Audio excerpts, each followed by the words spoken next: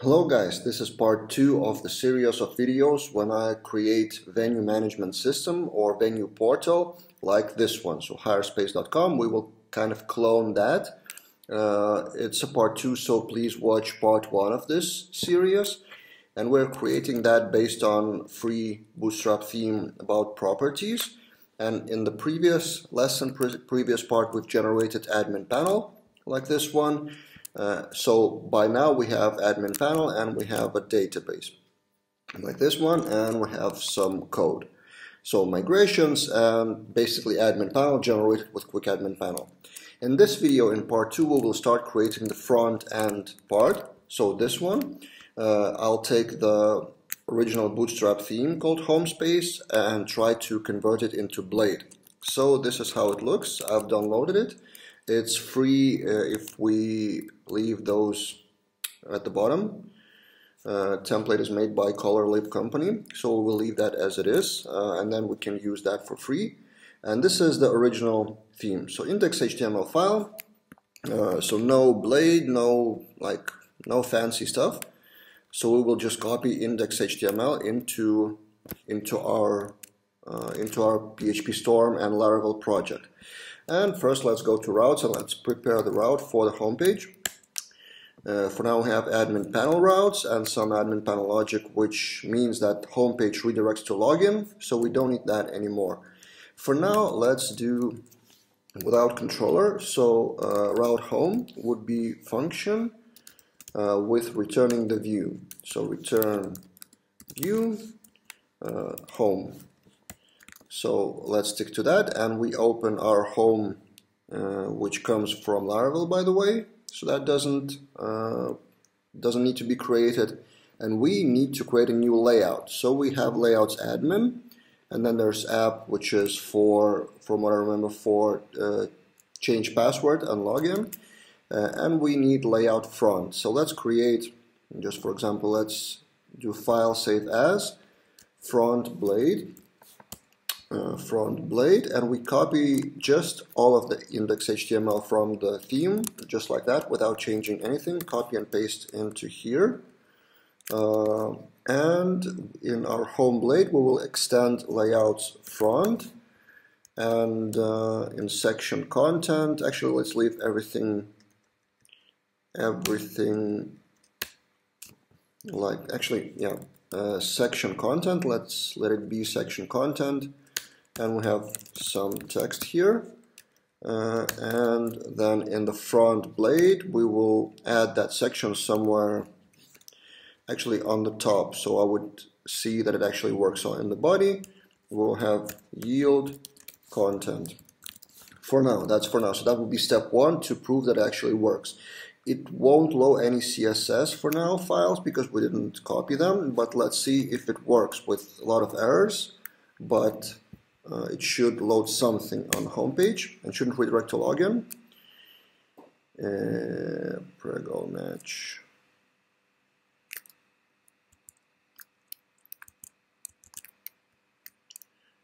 Turn you home. Oh, of course, route redirect shouldn't be redirect, should be get. Route get, sorry.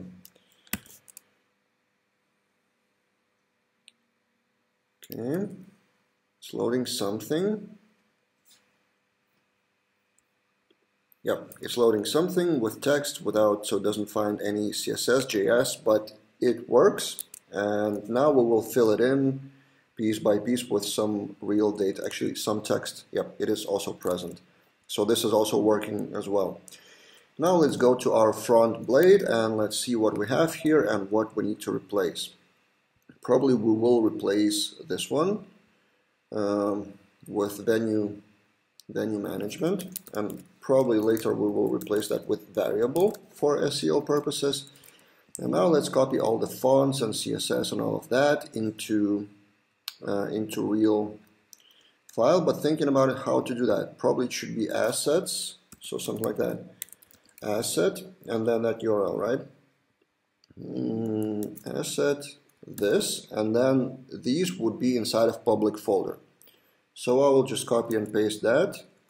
Probably there is a faster way to do that in PHP Storm, but uh, I'm not sure if I need to save those seconds. So this, like this one, and we will do the same thing with JS and we will copy full folders from the original theme into our public folder in Laravel. Right, so CSS should be found and now let's copy the actual files. So those files are original and this is inside of our uh, Laravel. So let's just copy everything here. CSS, actually it moved it, but yeah, anyway. No, actually, let's copy just in case. So we leave the original as original and then fonts. Not sure if there's a fonts folder. Nope, there isn't. So fonts, copy and paste. Uh, JS, yep, let's copy and paste that as well. I hope there's no name conflict. Main.js, damn, same file. Um, okay, we will deal with that. Uh, keep both. Let's do keep both and we will do main.js front main. We will rename that main front.js. Uh, right, and probably images. Images, yeah, let's copy images as well. Public images. Okay, and I think that's it. Now let's try to reload the page if the CSS is working. Something is working, so it's loading something. Probably if we open the console uh, of that, probably a lot of errors with network. Something not found, jQuery is not found. Oh, that's why jQuery is not found, then anything else is not loading. But if we look at the source, it's loading actually under the hood and CSS actually works. Great. So that is great. Now we need to replace JS uh, assets with the same thing. Actually, some more replacements here. Like this. Like this. I forgot something, no. Okay, and at the bottom there should be JS files mentioned. So here we have this, this jQuery 3. I probably should spend time to clean up uh, and leave what we actually need, but I will leave that to you guys. Uh, front main, or main front we called it, I think main front JS. Okay, and copy paste a lot of stuff. I'm not actually cutting all the parts here in this video because I wanted to show you exactly how much it uh, takes to create a project. So this will be pretty long video series, but that's exactly how it works in real life. Okay, we refresh. there we go, we have something we have some text, so that's our section. Any errors in network? Sorry. Images, so one image not found, CSS images. That is weird. But anyway, we have the blade file with home page. And it's all working. Well, links won't work, of course, but JS is working. Some text, we don't even need that for now. So let's remove that. Uh, just extends. And that's perfectly fine, by the way, that's perfectly fine uh, file. It just extends something but doesn't add anything. So it's just a copy of layouts front and we will fill it in with uh, content soon. Now let's debug what is gloss wave mm, something gloss wave. It's probably inside of some CSS somewhere. Uh, gloss wave. Let's search the project. So Find path, gloss, wave. Images UI, it's inside of jQuery UI. Probably we should add this and this in the CSS. Actually, let's look for URL more.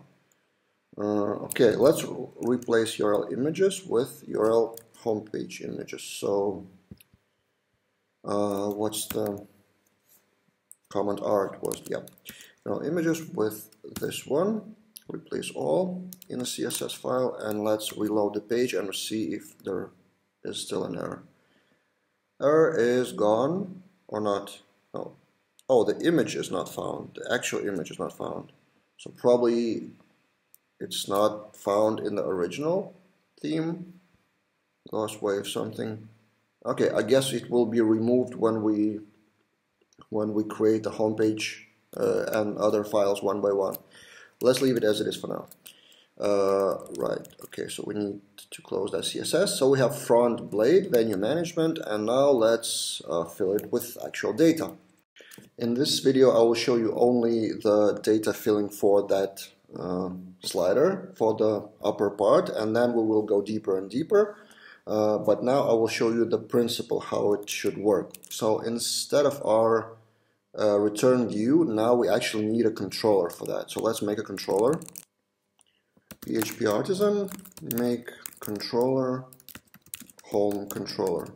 Not sure if it actually exists already. Let's try. Maybe it comes from Laravel. Controller created. Okay. So we have home controller.